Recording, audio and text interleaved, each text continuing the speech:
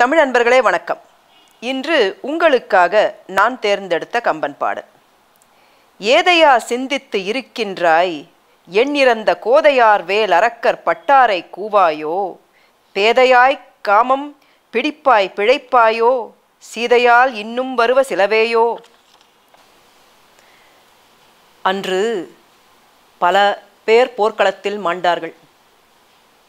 பல அரக்க வீரர்கள் மாண்டார்கள். அதிகாயனும் மாண்டான். இந்த செய்தியை கேட்டதும் ராவணன் அருவி போல் கண்ணீர் சிந்தினான்.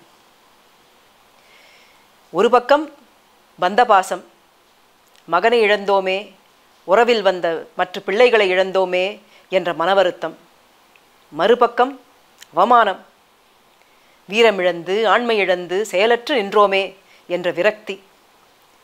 ராவணன் கையை பிசைந்தான் வந்த வசையை எண்ணினான். மீசை கரிந்து போகும்படி பெருமூச்சு விட்டான். வாளை நோக்கினான். அவனால் ஒன்றும் செய்ய முடியவில்லை. அப்பொழுது தானியமாலை ஓடி வந்தாள். அதிகாயனின் தாய் அவள் இரளியிட்டு அலறி ஓயா ஓலமிட்டு வந்தாள். கூந்தலை விரித்துப் போட்டு மார்பங்கங்களை கைகளால் அடித்து அவள் நிலத்தில் ராவணன் காலில் வீழ்ந்தாள். அவள் வீழ்ந்த வேகத்தில் நிலம் பிளந்து போனது. நிலத்தில் வீழ்ந்த மலைப்பாம்பு புரள்வதைப் போல் இவள் புரண்டாள். பாவி கொடியவனே எனக்கு பெருந்தீங்கிழைத்தாயே என்றாள். மன்னா உன் பிள்ளை இறந்தான் உன் சேனை தலைவர்கள் இறந்தார்கள். நீ இந்த மானுடரை இவர்களை கொன்ற மானுடரை பழிவாங்க போக மாட்டாயா இந்த மானுடர்களை கண்டதும் உன் வீரம் வற்றிப் போனதோ? உன் தோளாற்றல் குன்றிப் போனதோ? ராவணா நீ பெற்றெடுத்த மகன் இறந்தான் என்று நான் சொல்லிக் கொண்டிருக்கிறேன். அது உன் காதில் விழுகவில்லையா? நான் அலறுவது உன் காதில் விழுகவில்லையா? இதன் விளைவு என்ன ஆகும் என்று நீ சிந்தித்துப் பார்த்தாயா?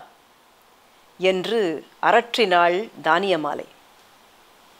அவள் சொன்னாள் இந்திரன் இந்திரனிடம் தோலா நன்மகனை பெற்றவள் தானியமாலை என்ற புகழ் பெற்றேன்.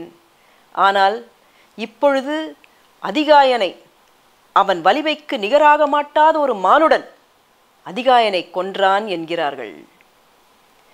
மன்னா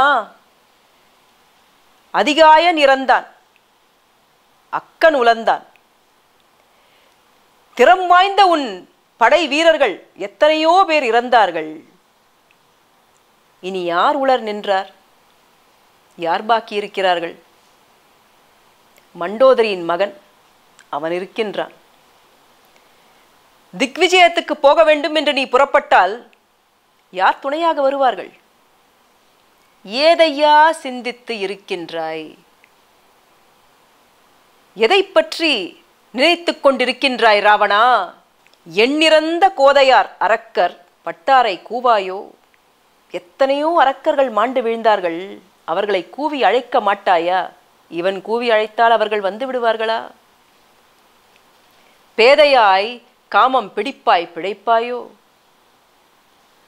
முட்டாள்தனமாக இன்னும் இந்த காமத்தை பிடித்து கொண்டிருக்கிறாயே. நீ உயிர் பிழைப்பாயா? சீதையால் இன்னும் வருவ சிலவேயோ? சீதையால் இன்னும் என்னென்ன வரப்போகிறதோ? என்றாள். அக்கனுலர்ந்தான் அதிகாயன் இறந்து பட்டான் என்று தானியமாலை சொன்னாள்.